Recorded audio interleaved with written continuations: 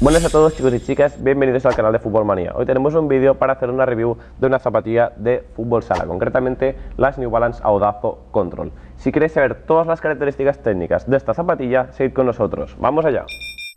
New Balance nos presenta nueva combinación de colores para el modelo de Audazo para principios del año 2022. En esta ocasión tenemos una parte superior que combina el color azul eléctrico con el verde lima que podemos ver tanto en el logotipo de New Balance en la zona exterior, zona interna de la zapatilla y zona de la lengüeta. En este caso, para la zona de la suela tenemos un diseño clásico, ya que esta suela está diseñada en un color de caramelo, muy típico en las zapatillas de fútbol sala. En cuanto a características técnicas, son exactamente iguales que el modelo anterior. Tenemos una parte superior que está fabricada completamente en material sintético. Recordad que la gama Control es la gama más básica del modelo de Audazo. Es un modelo que sí que es verdad que es una zapatilla de fútbol sala, pero podría pasar perfectamente para una zapatilla de calle por la estética que también es lo que busca la marca americana. Aquí en la zona delantera podemos ver distintas costuras para permitir que este material de piel sintética no ceda en exceso y también en la zona media de la zapatilla tenemos el gráfico que ya viene utilizando New Balance en las antiguas ediciones tanto de fútbol como de fútbol sala. Para la zona de la lengüeta tenemos una lengüeta que es independiente del cuerpo de la zapatilla y destacar que está fabricada tanto material de malla para que sea mucho más transpirable y en el mismo material sintético que tenemos en el resto de la parte superior. Destacar también que es una lengüeta bastante, bastante finita.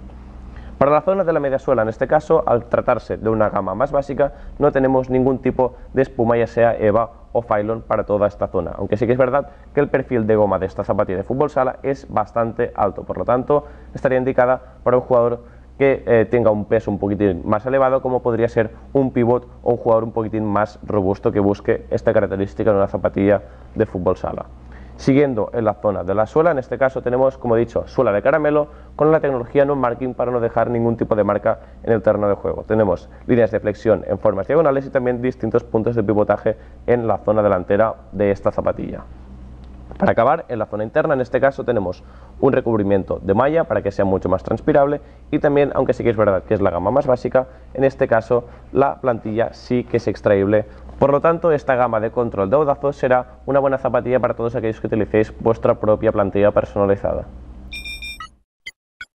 Hasta aquí la review de las New Balance Audazo Control. Quiero que dejéis aquí abajo en la zona de los comentarios qué os ha parecido esta zapatilla de fútbol sala por parte de New Balance. También, como siempre, si os ha gustado este vídeo, regalar vuestro like y suscribiros a nuestro canal. Chicos y chicas, nos vemos en la próxima. Adiós. Hoy tenemos un vídeo para hacer una review de la primera colección de Melia Torno. Torno y es un modelo que también puede servir incluso incluso